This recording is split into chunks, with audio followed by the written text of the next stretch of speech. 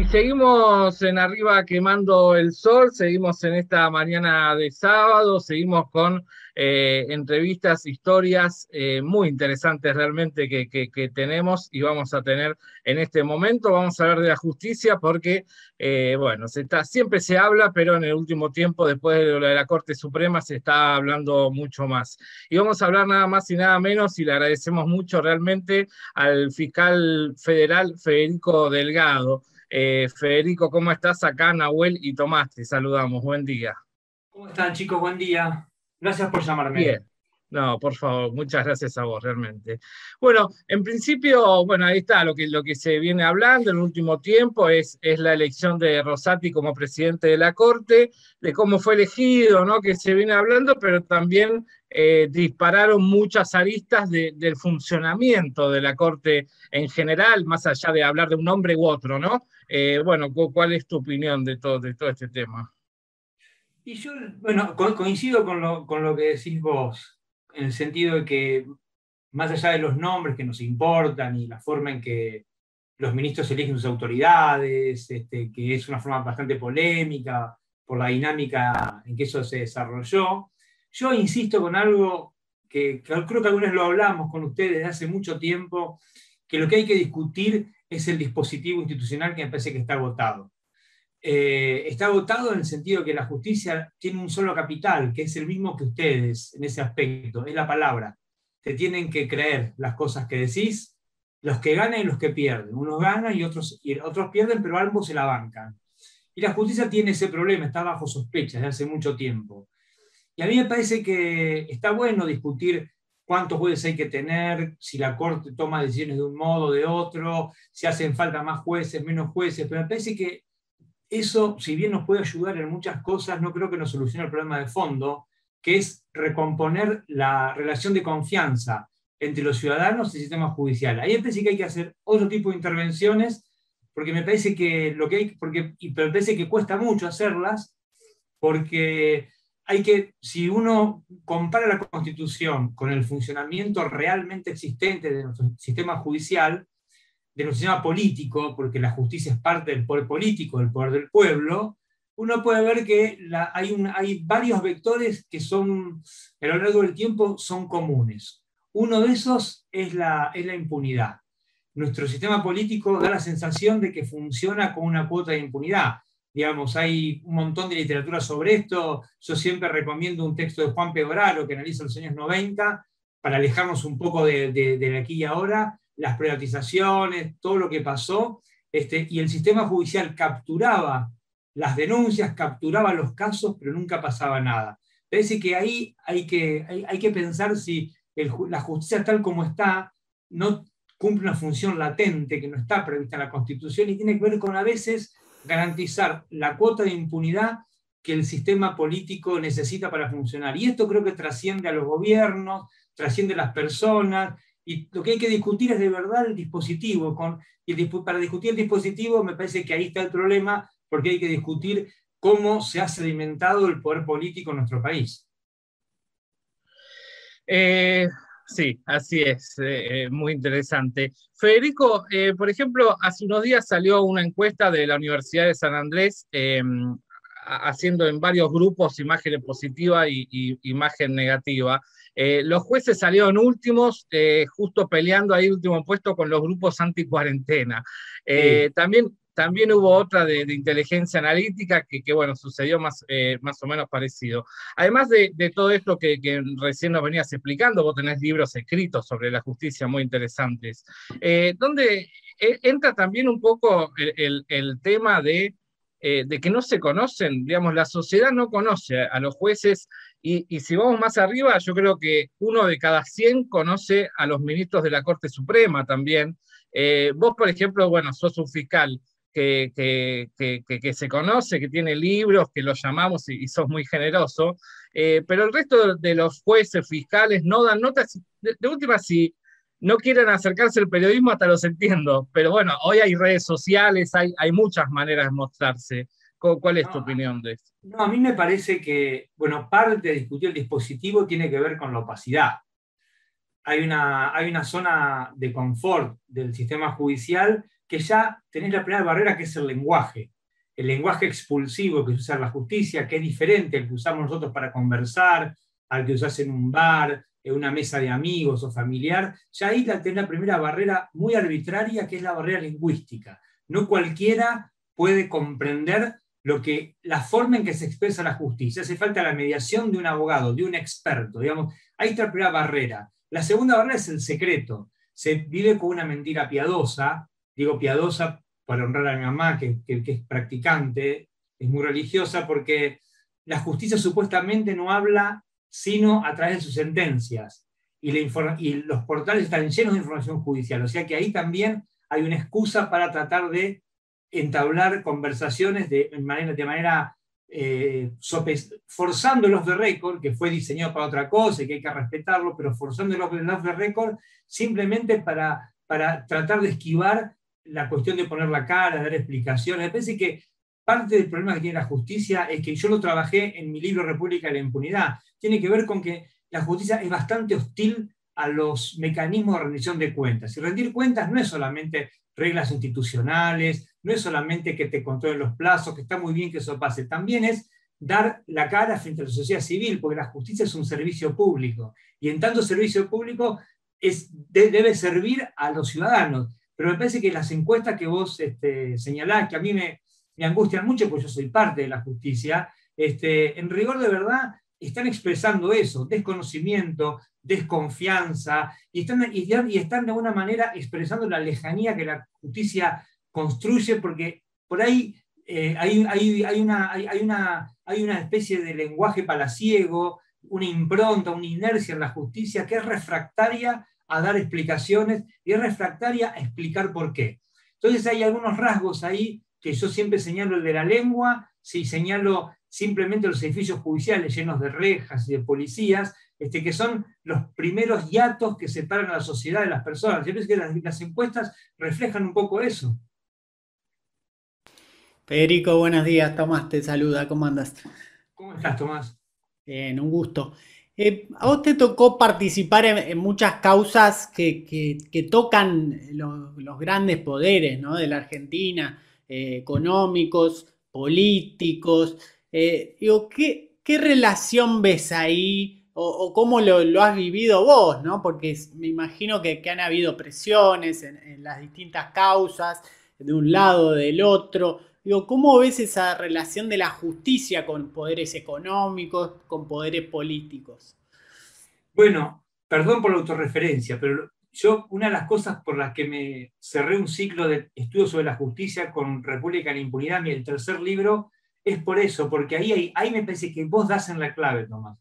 Ahí es donde hay, hay relaciones que no están, no están previstas y, no, no, son queridas por la Constitución, pero que hay como una especie, como que la un sector de la justicia, vamos a decir la verdad, a decirlo bien, un sector de la justicia es como, se escapó de la, como que se escapó de la Constitución y utiliza la posibilidad de construir causas, la posibilidad de aplicar la ley, la posibilidad de resolver conflictos lo, utiliza eso, que es un servicio público, de una manera particular. ¿Y esto qué quiero decir con esto? Que a veces la justicia construye coaliciones informales, pero muy fuertes, con sectores económicos, con sectores políticos, con, con, con un montón de, de, a veces servicios de inteligencia en algún momento, digamos, con un montón de, actores que, no, que participan informalmente del proceso, pero que lo participan, y que eso permite que la ley se utilice de manera ilegal. Quiero decir, parece que se hace justicia, pero en rigor de verdad se hace justicia y, y, también se cometen injusticias en el mismo trámite de un expediente. Y eso me parece muy peligroso, porque me parece que, que en definitiva lo que expresa es un problema que tenemos en Argentina de hace mucho tiempo, que tiene que ver con la autonomía relativa del Estado.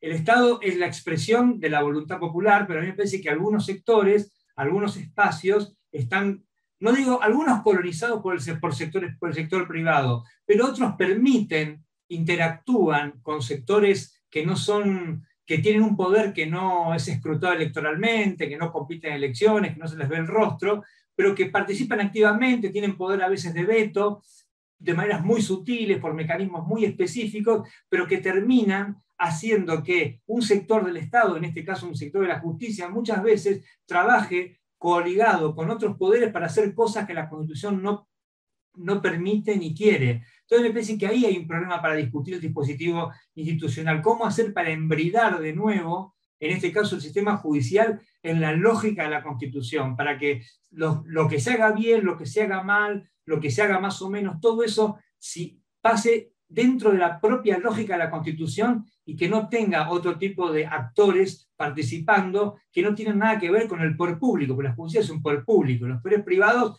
digamos, tienen que participar a través de carriles de mediaciones que están previstas también en la ley, pero que no tienen que ver con este tipo de relaciones que no, que no, están, no, no, no fueron pensadas por los que diseñaron el dispositivo político de la Argentina. Y en eso, eh, ¿Cómo ves las distintas eh, iniciativas que, se, van dando de reformas judiciales? Eh, ¿Cómo lo pensás? Porque es, difícil porque en general cada vez que se, lanza una, reforma que tiene que ver con lo judicial, se empieza a hablar de, se empieza a demonizar, digamos, a veces hablan de Venezuela, a veces hablan de otras cosas, eh, sea el gobierno que sea, pero digo, es como difícil entrar a, reformar algo y vos también como politólogo, digo, lo podemos pensar en, cómo se puede entrar ¿no? en, ese, esa maraña. Lo que vos decís, Tomás, me parece que la demonización tiene que ver justamente con eso, porque no estamos reformando la justicia. Cuando planteas reformar la justicia, lo que estás pensando siempre es en reformar la forma en que circula, en que, el, que el poder político se objetiva en la Argentina. Por eso Salvo Menem, después ningún gobierno pudo hacer una reforma judicial profunda. Cristina Kirchner fue la que más lejos llegó con las famosas leyes del 2013 de democratización de la justicia, que fueron finalmente parcialmente anuladas por la Corte Suprema. Macri, con su proyecto Justicia 2020, lo pudo aplicar a medias. Digamos, nadie puede ir a fondo. Este gobierno tiene, tiene una serie de, proyectos dando vueltas en el Congreso, pero que no se sabe bien qué pasa. A mí me parece que la, yo, humildemente, obviamente no, no, no, tengo la piedra filosofal. A mí me parece que la reforma judicial me parecen muy buenas algunas de las iniciativas que hay, que pueden ayudar mucho, pero me parece que hay que discutir la designación y la remoción, no solo de magistrados, sino también de todos los cargos judiciales. A mí me parece que ahí es cuando hay como una especie de ingeniería social, estoy robando una frase de Juan Pegoraro, una especie de ingeniería social que hace que esta forma que el poder político funciona en la Argentina toma algunas precauciones, entre comillas, para designar personas o funcionarios o, digamos, no, no, no estoy jugando los tipos en sí mismos, sino hay muy buenas personas, pero los dispositivos institucionales a veces subyugan a la gente y me parece que lo que se hace es tratar de, de designar personas y no remover algunas otras que garantizan que esta forma del poder político se reproduzca. Es la única explicación que yo encuentro, por ejemplo, para que casos como el de Norberto Yarvide, que falleció, o Claudio Bonadío, que falleció, hayan sido jueces durante tanto tiempo, que hayan pasado tantas administraciones, tantos colores políticos distintos y recibiendo siempre las mismas críticas. Sin embargo, ellos fueron jueces por más de 25 años. Me parece que ahí nos ayuda a pensar eso un poquito me parece que eso tendría que hacernos pensar cómo se ingresa y cómo se sale de la justicia y en el medio cómo se, cómo se construyen mecanismos institucionales de seguimiento que permitan medir lo que un juez, un fiscal o un empleado hacen, porque en la justicia hay mucha discrecionalidad.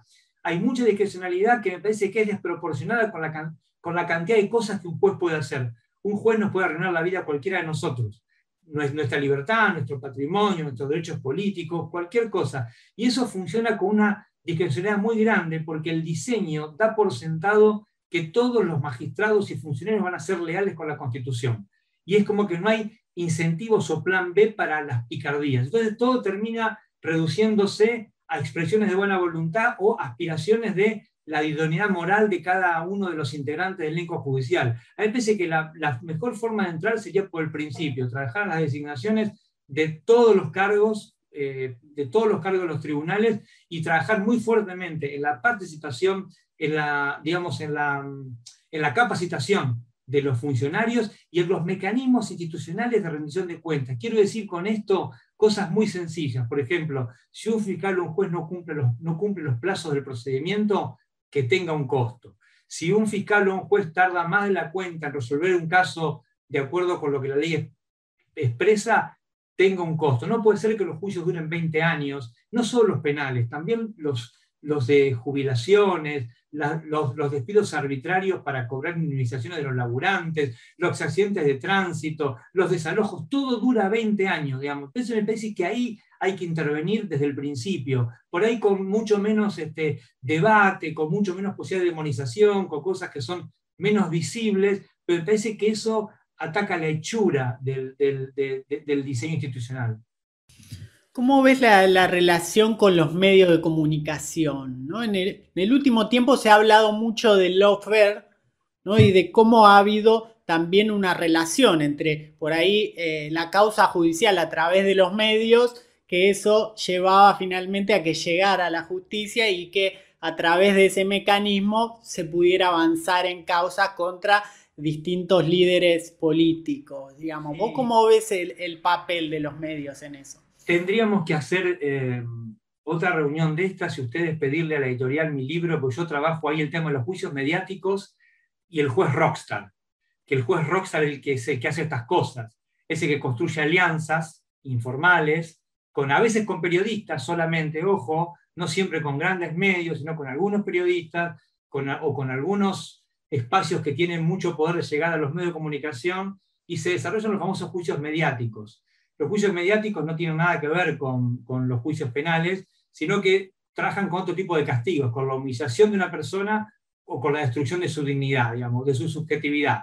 Eso es un problema tremendo y a mí me parece, para decirlo rápidamente y cortamente, pero lo podemos charlar un día con más profundidad si quieren, tiene que ver con que el, el diseño del procedimiento penal permite que mm, los magistrados puedan administrar los tiempos de una manera que a veces este, persigue solamente sus fines particulares. Doy un ejemplo.